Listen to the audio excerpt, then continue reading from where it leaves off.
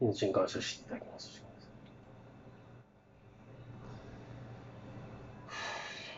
暑い。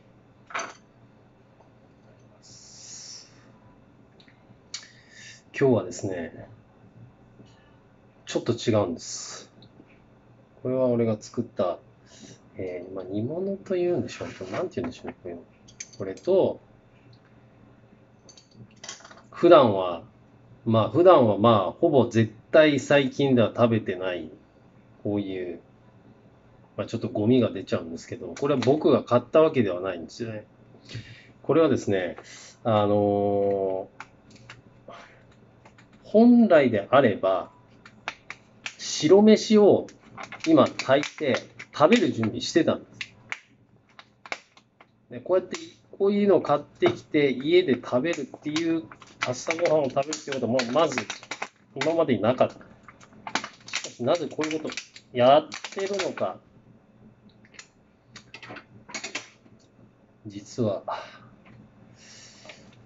あの、ある人から連絡が入って、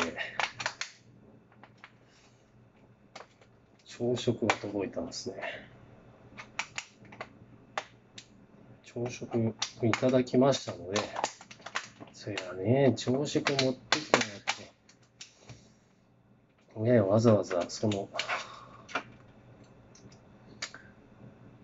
ね、ちゃんといただきます。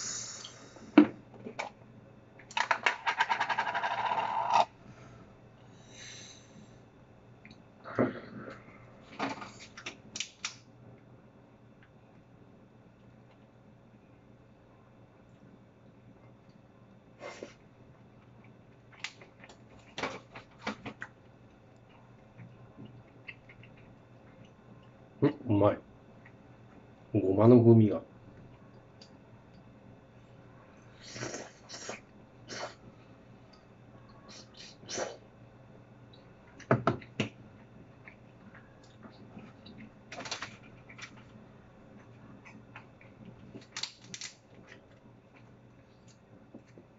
うん。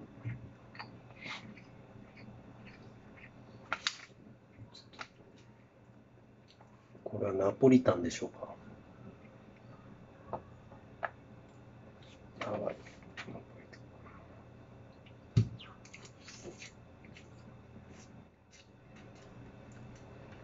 うん。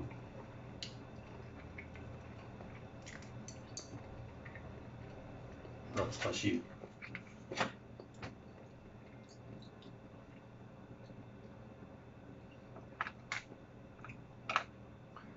ご飯はもうちょっとね、食べたかったんですけどね。まあ、ナポリタンがあるから、ちょうどこれ、ご飯代わりになって、いいのかな。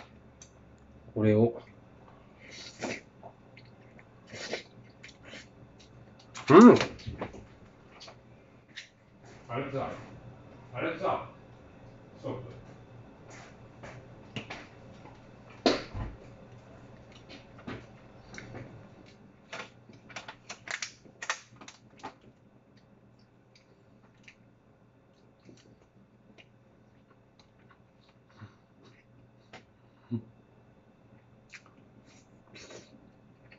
うん。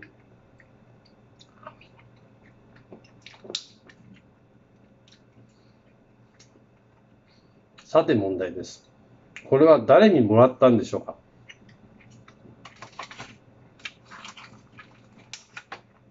考えてみてください。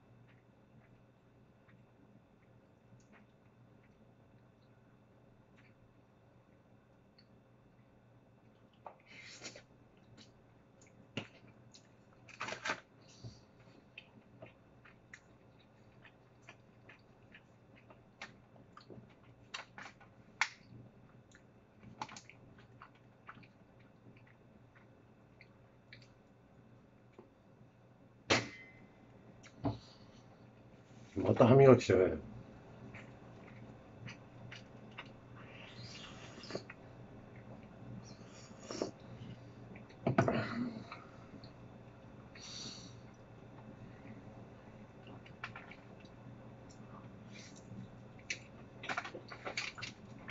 うん。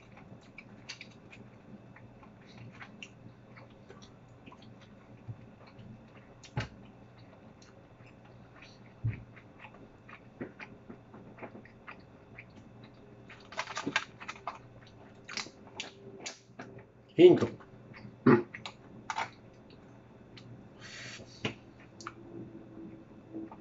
ヒント。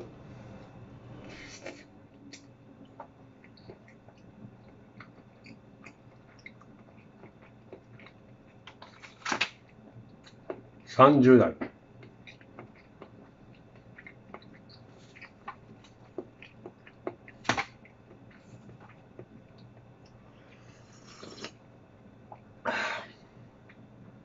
から60代。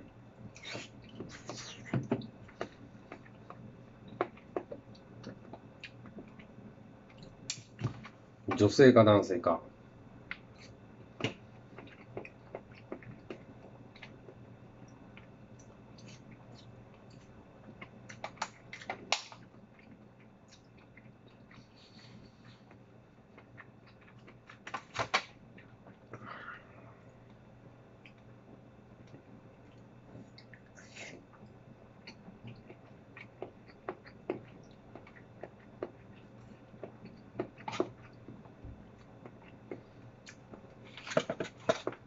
ズバリズバリ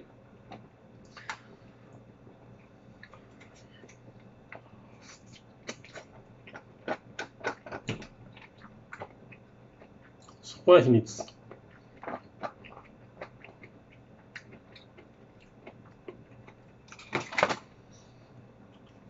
男性ですね。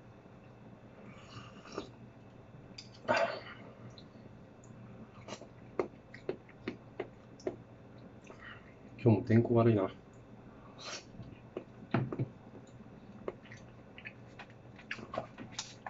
飯の量がちょっと足らないな。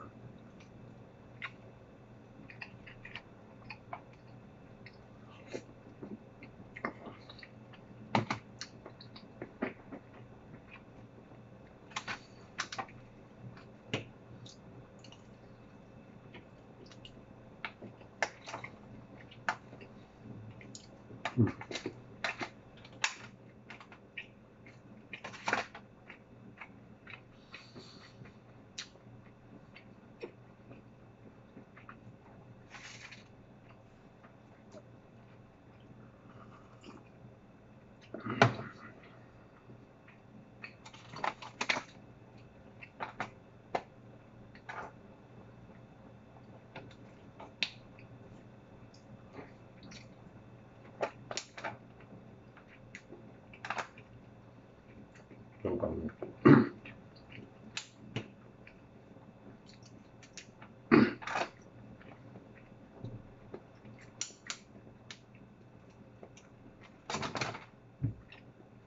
そういえば、コロナなんちゃらの日本がピークだった時、こういうゴミがめちゃめちゃ増えたってニュースで言ってたよ。なんかみんなほら、テイクアウトするんじゃん。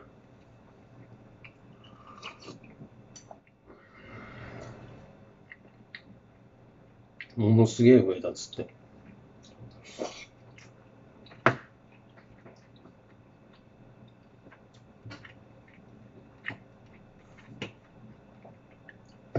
問題になってた。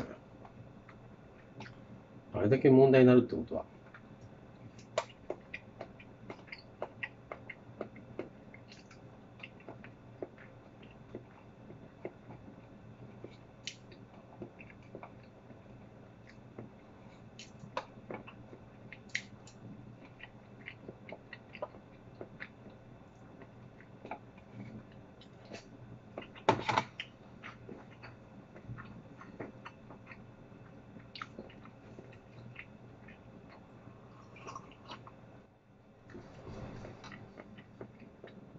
ただ、経済が戻って、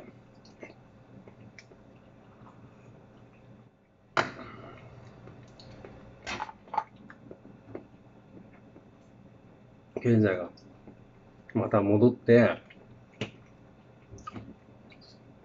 経済がまた戻って、また、始まるんじゃない以前に。そうなった時に、どっちが多いのか逆に気になるね。その、コロナなんちゃで増えた時と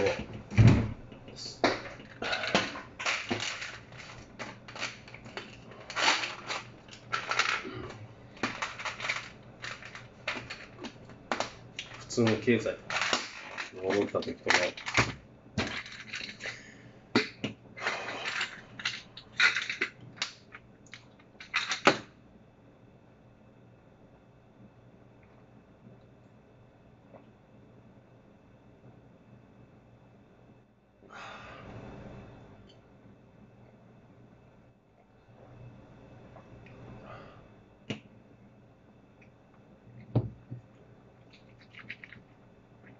失礼。まだ暑いな。今日さん、楽しい一日、安全な一日、1分1秒大切に、残り限られた人生を地球のために使ってください。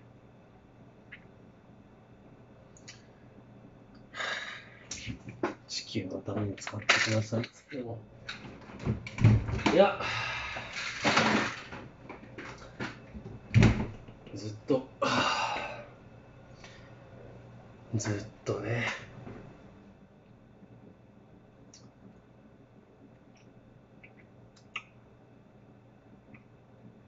酒続けるんでしょうね。